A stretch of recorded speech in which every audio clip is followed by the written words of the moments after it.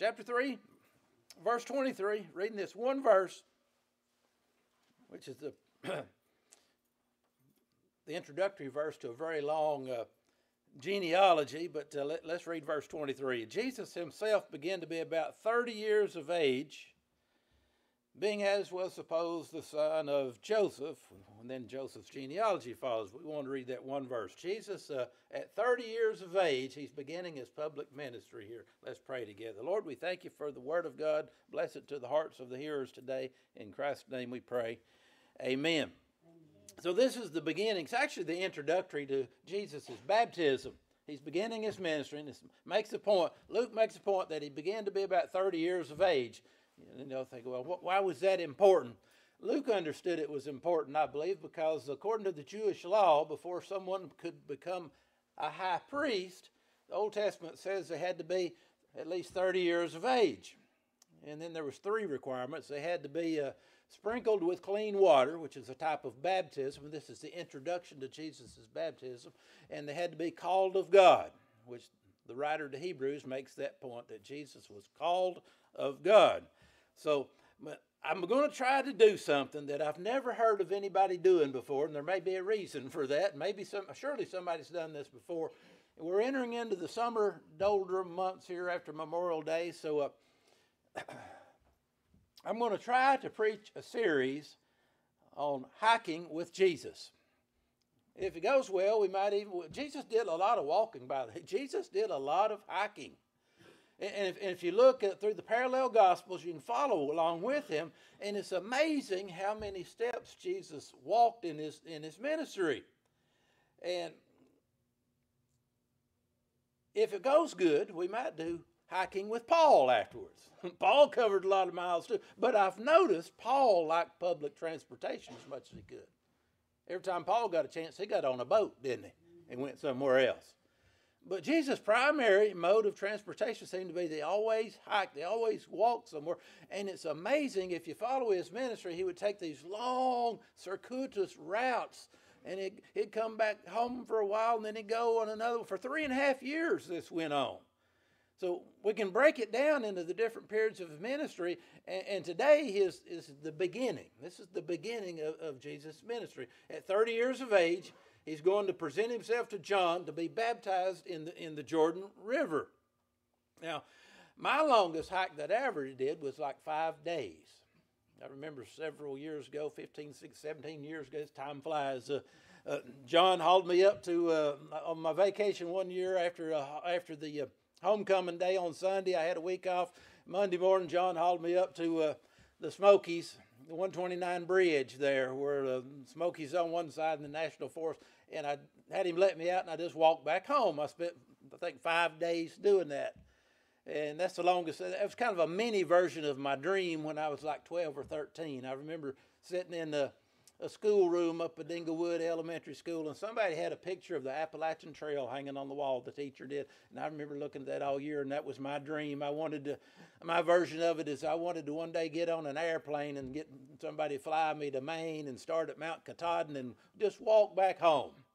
I didn't care nothing about doing any of that southern part. I just want to walk back home from Maine. Well, I never did get to do that, but I did a few little mini versions of it. Uh, that was only like 55 miles I did. Seemed like a lot to me, but you know, after that, after a week and 55 miles, I was glad to take a shower and be home. You know, it's fun for the first few few days, and I'd do that for several years. But uh, that's nothing compared to what Jesus and his disciples would do. The very beginning is when Jesus presents himself to be baptized. He's leaving his hometown of Nazareth, and if you look on the map, John's baptizing at Bethabara beyond Jordan. That's 75 miles away. So for Jesus to leave home and to go be baptized, that, that's a 75 mile hike right off the beginning there. He walks down the Jordan River, downriver, camping on the riverbanks as he goes. And, and I just started thinking about that as, a, as I remembered, you know, I, I like to read outdoor stories, you know, uh, uh, hiking trips and hunting trips and canoe trips and things like that. You can just kind of travel along and, and experience it too.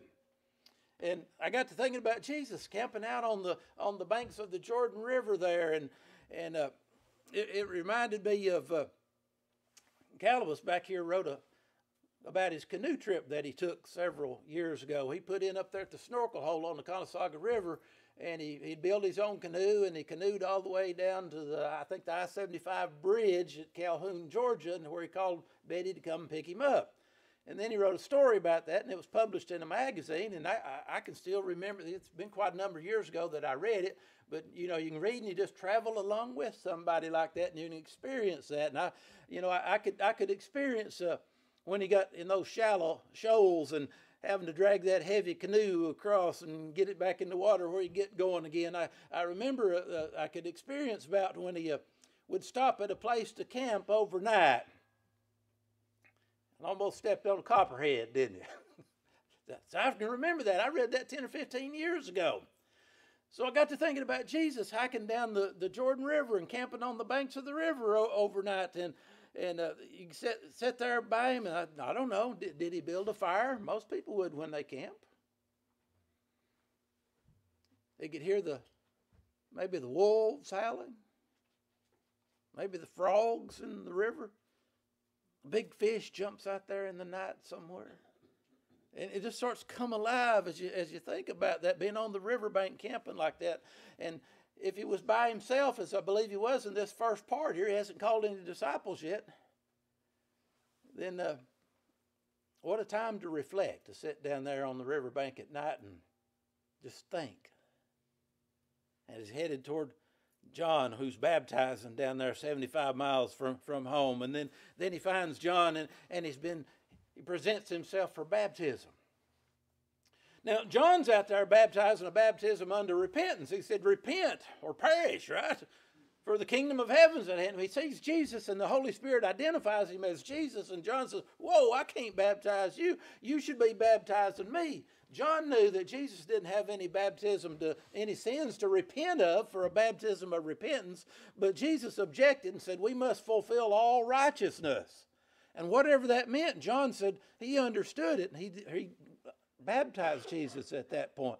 I believe that Jesus' baptism was different than yours and ours. It was an example for us, but it was also Jesus presenting himself to begin his public ministry as our high priest, who had to be baptized, 30 years of age, and called of God. When it, and when he told John, we've got to fulfill all righteousness, see, that's obeying the law, and that's what Jesus was doing. So he's baptized by John, and then immediately he hikes 10 miles over into the wilderness where he camps out for another 40 days.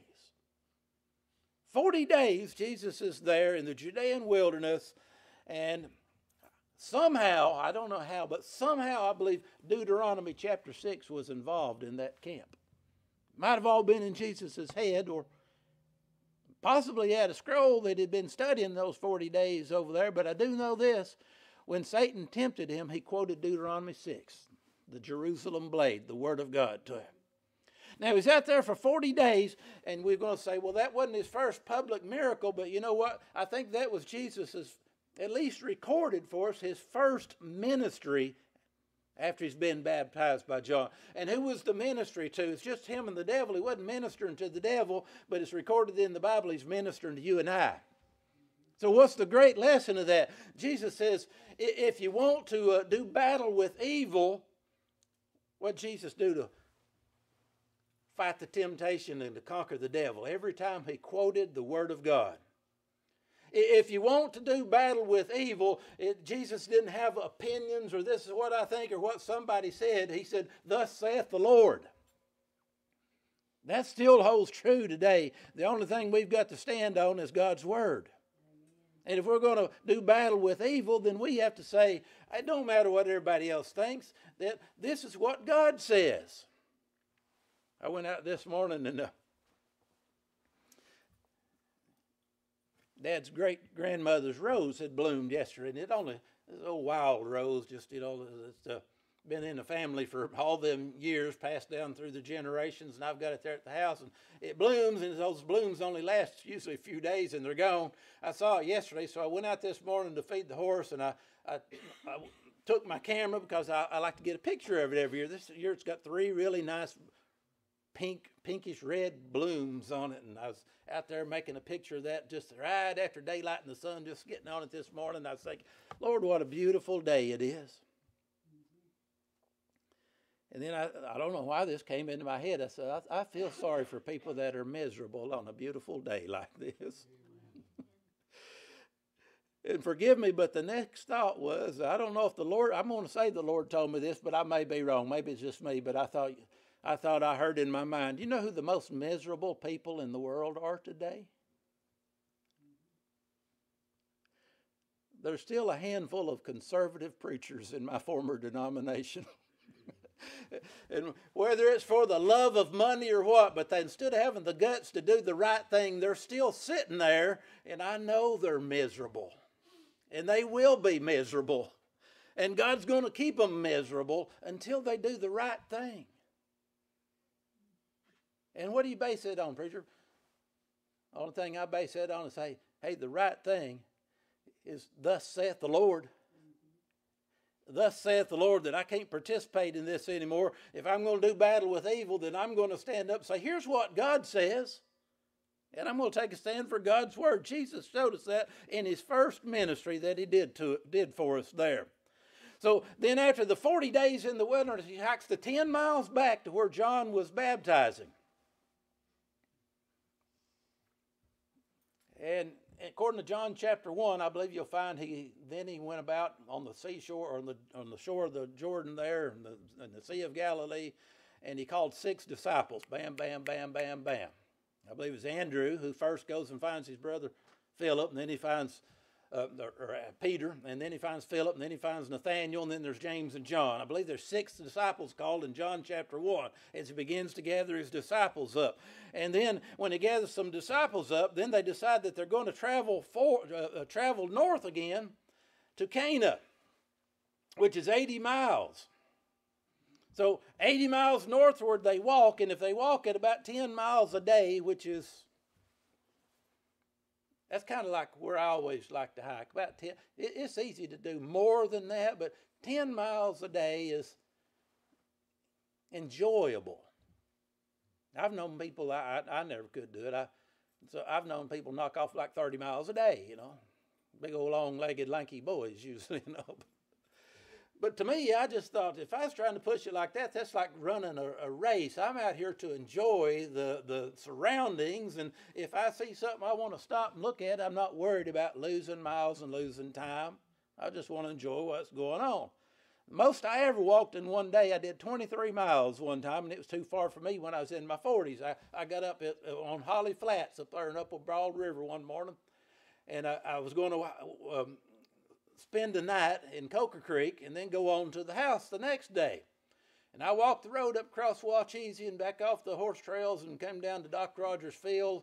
And I was there at Doc Rogers Fields by about four o'clock, and that's where I was going to spend the night. But I thought there's a little old store about a half mile up the road. I bet they're still open. I went up there and I sat down and I went in and I got me a big old Mountain Dew. When you walk all day for a few days, you start craving sugar and stuff, you know. And I got my big old Mountain Dew and I sat down in that rocking chair and I went in there and got me some cookies and stuff. And I got, uh, I think it was a Nehi grape and I drank that. And then I went in there and got some more candy bars and cookies and stuff. And I sat in that rocking chair and I got me another Mountain Dew. and I drunk it and it's getting late in the evening. I took my pack and stuff up there with me and I was looking down that road and I thought, I feel pretty good. I believe I can go on home and take a shower and sleep in my bed tonight by then it's about five or six. It's getting dark. It's November, first week in November. It's getting dark, but I thought I can do it. It's all road walk to the house now, another ten miles or so. So I, I took off down through there, and uh, in, in the first five or six, I was on that sugar high, and I was doing just fine. And boy, when I started getting down there closer to, actually had left my my Bronco at a friend's house about two miles from my house, but it was 23 miles total, but the last three or four miles, I, I, was honestly the only time in my life just concentrating, telling my feet, one foot in front of the other, one foot in front of the other, and every step was getting rough. And I was carrying a heavy pack too, you know. But I did 23 miles, but I made it home that night. Now, I don't know how many miles Jesus and his disciples traveled in a day, but I know one thing I was wearing Timberland hiking boots. They were walking around in sandals. Now I know their feet was a lot tougher than mine too, because I remember when I was a kid, when May got here, we run around barefooted all summer long. I could run down a gravel road barefoot and didn't even flinch. You know, I can't walk across one barefoot. You know, true meaning of tenderfoot. You know, we wear shoes year round now. I do. I may, do any of the kids ever go barefooted anymore? But but we did, and we, we liked it. But uh, so I'm assuming Jesus and the disciples, they probably did about 10 miles a day. So if they were going back to Cana for 80 miles, it would take them about a week at 11 and a half miles a day. And they're going to a wedding. And, and, they get back up there, and, and, and, the wedding's going, going on, and you know the story. The they run out of wine, and Mary comes to Jesus and says, "You know, fix this." And he turns the water into wine. Does his first public miracle that's recorded in the Bible for us here. This is the beginning of his miracles. Which, by the way, I, that hit me one day. They've got these books going around the the lost gospels and all this stuff, and they got Jesus doing things when he's a boy, turning miracles and things. And I read that in the Bible one day and said, "That ain't true." Because the Bible says what he did there at Cana said this is the beginning of his miracles. This is the beginning of his miracles when he turned the water in, in, into wine. But the, the main point Jesus gave us in his first miracle there is everybody realized that, hey, the good master has saved the very best to last. Don't ever forget that because that's the point. We can do all the other stuff and get bogged down in the details of that story about the wedding at Cana, but the number one point is that the Lord saves the best to last. It starts out good when you're walking with the Lord, but it gets better and better. That's no matter where you are in life, no matter how bad or how good it may be in life. You can always say, if you're a Christian, you can always say, the best is yet to come. We're going to heaven one of these days, folks. We're going to heaven one of these days if you if you signed up to be a walking with the Lord. We're going to have to sing that song for this series uh, of when we walk with the Lord in the light of His Word. I don't know. I was thinking today, Ken. I said, you know, the Lord's a great record keeper. I wonder how many miles me and Ken Jones walked together on all these trails in the last decade and a half plus or something. I said, I, I don't know, but we can get to heaven and we can find out because the Lord's a great, He can tell us how many steps we've took. He can tell us how many trees we've cut with a chainsaw, how many trees we've cut with. The Lord's a great record keeper. Y'all realize that? He's got a record even of every human being from the Garden of Eden to whenever he comes back that has trusted in Jesus. I hope your name's on that list. If it ain't, it ain't too late. It can be before you leave church house today. But put your trust in, in, Jesus. The Lord's a great, He's got a record of that. And your name will be found on the day of judgment there, those that have trusted in, Jesus. Then after the wedding, they, they travel on up to Capernaum. Now, this is just the beginning of Jesus' ministry, this first route. So Capernaum was 25 miles from the wedding. So they traveled 25 miles up. He took his mama, according to the scriptures, he took his mama, he took his brothers, and he took his disciples, and they went on up to Capernaum, 25 more miles to hike. And the scripture says, and they continued there not many days. I, I, don't remember which gospel that comes out of, but it sounds like Luke because you read Acts and Luke. Luke was a master of using the diminutive. He'd say, it'd say so if they continued there not many days. We'd say they stayed there a few days. Not many days, but a few days. And if they continued there at Capernaum not many days, it, it seems to me like that was a place that they, they kind of took a little bit of a break there. And I find Jesus doing that in the scriptures. And here's a point for you as we journey through these scriptures together there. If Jesus needed to do a little R and R every once in a while, so do you. If Jesus, need, I, I believe as I've read the scriptures all my Christian life about Jesus, that I don't know. We'll find out when we get to heaven, but just doing a little psychology on the on, on Jesus here. I think Jesus is like a lot of us, an introvert. He was an introvert as a human being. Most preachers are introverts. That's not a bad thing. Most people are probably in, the, in this room are, are, introverts. Psychology says introverts, they function like this. The introverts, they, they go out and they, they, they give their energy to other people as they're out in the world and among people, but yet then that drains them and they need to withdraw and have alone time to recharge their batteries.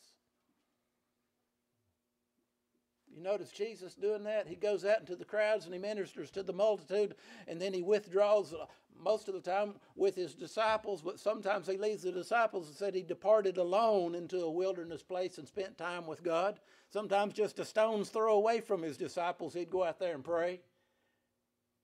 Or sometimes he'd just take the three, Peter, James, and John, they'd go up on a mountain apart somewhere, and then he'd come back to the people every time. If Jesus was needing that R and R, then we do too. Sometimes we think we don't. We get into a holy distraction. We think we're doing God's work. We got to do this, got to do this, and we don't take any time to ever have any downtime and recharge your own batteries. Or maybe we let God recharge our batteries. Uh, but if, if Jesus did that in the scriptures, then that's definitely an example for us too. So, so we need it to. In closing, let me sum these little routes up here in the beginning circuit of his ministry today is this. Uh, this will teach you something about reading our Bibles, too. When we read and think about these journeys, uh, it's easy to just read our Bibles and it's just words on a page. God don't want it to be a dead letter like that. Did you notice that when, when God gave us the, the, the, the Bible, it was in a time that it came in the form of a book? He didn't wait till we had movies or TVs. It was the printed word that was important. And I believe there's a reason for God's timing in that, a lot of reasons too, but one of them is that, you know, when we watch a movie, it's real easy to just be completely passive and it don't engage your brain. And whoever made the movie, they did all the imagination part for you and they filled in the gaps. But when you read a book, any book, your mind gets active and you kind of travel along in the journey and you see things in your mind and you you hear the fish jumping and the owls calling and the things that's in it too. And, and that's why reading, that's why how many times have you read a book and then you're excited because they made the movie and you go watch the movie and you say, well, the movie ain't near as good as the book. Because the book, the, the, the book made you imagine it and your, create your world to fill in the gaps. I think reading the Bible is a lot like that too. It, it sticks with us more and it speaks to us more when, when we use our own imagination. That's a God's gift, by the way, um, the gift of imagination. When we use our own imagination and our own life experiences, that we can identify with these things. We can think about Jesus and the disciples hiking and camping on the riverbank together because we've been there, we've did that sort of thing too, and we can identify with it. Now, the book is here because the book gives us the bare bones, and the, it, we, we can't just use our imagination, or then we'd end up like a lot of people have done. They, they create a Jesus of their own imagination, but we've got to stick close enough to the book to realize we're following the biblical Jesus, not some imaginary Jesus. But we stick close to the book and we fill in the gaps and we identify. It's like the words come alive and Jesus becomes human. I don't mean that in a derogatory way. He was 100% human, he was 100% God. But we identify with him through these human experiences. So we can identify with Jesus getting tired and sitting on a well while the disciples go get groceries. The weary Jesus. We can identify with Jesus who sheds a tear at his friend's funeral even though he knows he's going to bring him back from the dead. It's when we get inside the scriptures and let them speak to us and walk around that they really come alive. I believe we read them the way that God wants them to. it's like it wants us to. It's a uh, well. Let me let me give you this else. I was reading a book here here a while back, and a, a guy wrote it as a school teacher. True true story. It's about hundred years ago, and I was reading about him. It's a called "The Thread That Runs So True." Kind of an obscure book but he was talking about going on a on a walk one one evening. He had to go from one town to the next town. He had to go across the mountain. When he got up on the mountain, the snowstorm was more than they didn't have weather forecasting back then. But uh, it, it got so bad he lost the road walking. and he was going to die probably, but he, he stumbled into a farmer's field, and the farmer's field, uh, as they did back in the day, the corn were situated in shocks, you know, little teepee like things. And he crawled inside of one of them and spent the night and waited out the storm. How he survived, and I was sitting there reading that, and I was just I could feel, I could hear the wind, and I could, you'll see the snow and the darkness there, and I was just right inside that corn shock with him. And and when you read the Bible like that, it's a book too. That when you read the Bible and you travel along with them and you experience that, man, it comes alive, and you'll remember it. Just like I remember John's story that he wrote 15 years or so ago, and I only read it one time, and it was way back then.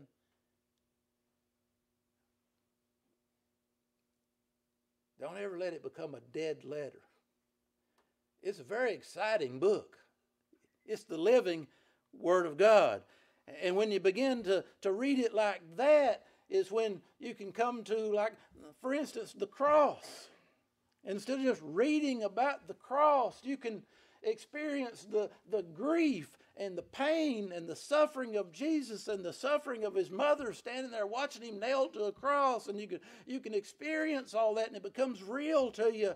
And then 3 days later you can experience the jubilation of the empty tomb. It's not just words it's life experiences that's important to you and I. I can identify with old King David when uh, he was walking beside the still waters because I've walked beside the still waters. I've laid down in the green pasture before and listened to a choir of crickets singing all around my head on a cool October day before they're in the tall green grass. So when I read that about David walking beside the still waters and lying down in the green pastures, boy, I, I'm right there with him. And I understand what David wrote next when he wrote about that, and he said, He restores my soul. There's something about that that's that soul restoration. That's that R and R that we all we all need. It's not it, we got to let the Bible come alive to us, and once once the Bible comes alive to us, like uh, we begin to to listen, not just what the printed words are on the page, but we can begin to hear that small still voice of God and it becomes personal to us when we run across those promises of God and we realize that's not just words in a book written long ago, but that's the Word of God spoken right to my heart, just the same as if God was sitting here talking to me and saying it right now because He is.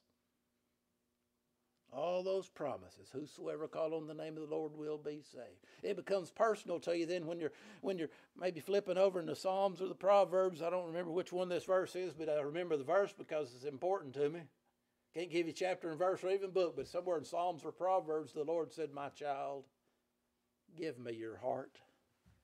And when you hear that, it's not just words on a page, but God speaking to you.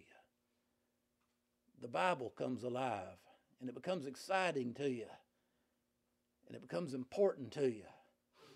And it's not just something to throw on the coffee table and gather dust and pick it up and take it to church on Sunday it becomes something that you get hungry for. And boy, once you get hungry for it, that's when God goes to work in you and through you. Let's pray together. Lord, as we journey with Jesus, I call it hiking with Jesus here today, is walking. You did a lot of walking, Lord. We call it hiking today, but Lord, we we thank you as we can go and follow Him through this journey, Lord. That uh, we remember that we're walking with Jesus daily down here as disciples, uh, uh, followers of His today, Lord. But to help the Bible come alive to us, help us to claim those promises, Lord. Help us to want to get in there and get hungry and follow Jesus around and, and listen to what He's got to say to us and to the world. And it's in Christ's name we pray. Amen.